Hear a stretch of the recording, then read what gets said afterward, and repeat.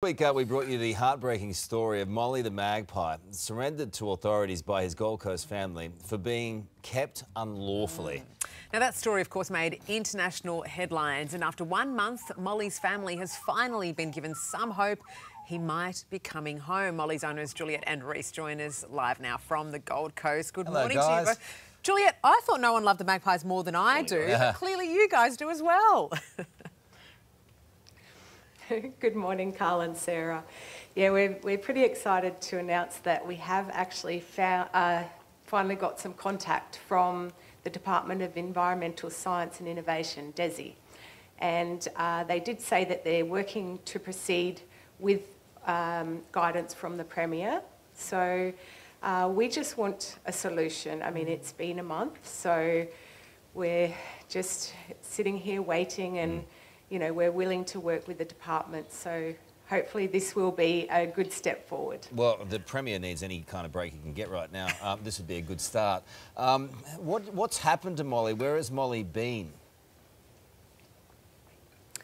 uh, so we got an update he they haven't given away any information for obvious reasons where he is they did say that they were working closely with a vet with him just to um, do some tests and um, make sure that he's happy healthy uh, we would actually like some sort of photo or video evidence because um, you know, I mean, we, we know this bird, so we'd, we'd really like to see how he's doing for ourselves.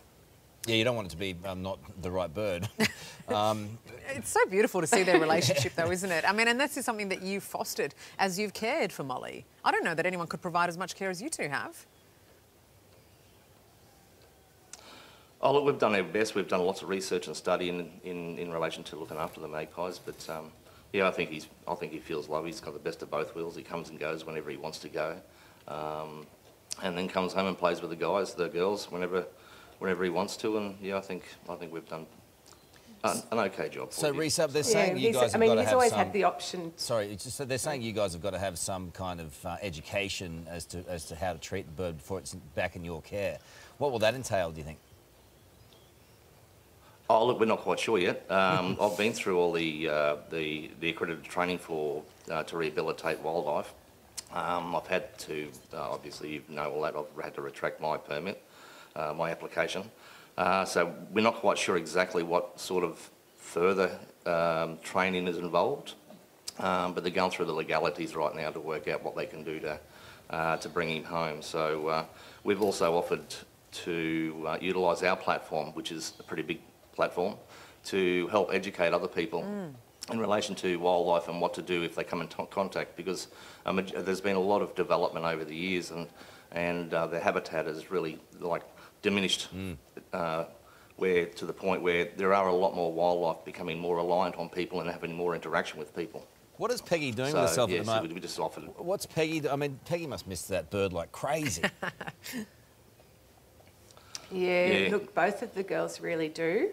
And I put up a video. We do have a magpie puppet, and um, especially Ruby, she's been cuddling it and falling to sleep with it. Oh, what? Um, the oh no, the other morning I woke up at three o'clock in the morning and I had this shadow of a dog just looking out the window. Oh, my Yeah, goodness. so we've been giving them extra. yeah, it's it's quite heartbreaking to watch. what a relationship that is, huh? It's beautiful. Oh, there's such a strong. There definitely is such a strong bond there. Oh, Yeah. It's Well- been an absolute pleasure to be part of it. Yeah, and it has been for us too. Let's hope it's all rectified pretty quickly. I mean, I was a little bit shocked um, that Molly's a boy. It's like the whole Bluey thing. it just doesn't, it just didn't quite work. It Didn't work in your mind. It didn't quite compute. hey, let us know when it happens. That reunion's going to be something special, and good on you two for fighting the fight. Gorgeous. Thank you Thank so you very much, for having us on the show. You guys are sweethearts. they Appreciate are. it. Hey there, Today fans. Sarah and What's my name again? oh my goodness, Karl. Hey, thanks for watching our YouTube channel, though. Subscribe now for more news, special reports, and amazing Aussie stories. And Karl misbehaving, Whoa, of course. that never happens. always What's happens. she talking about?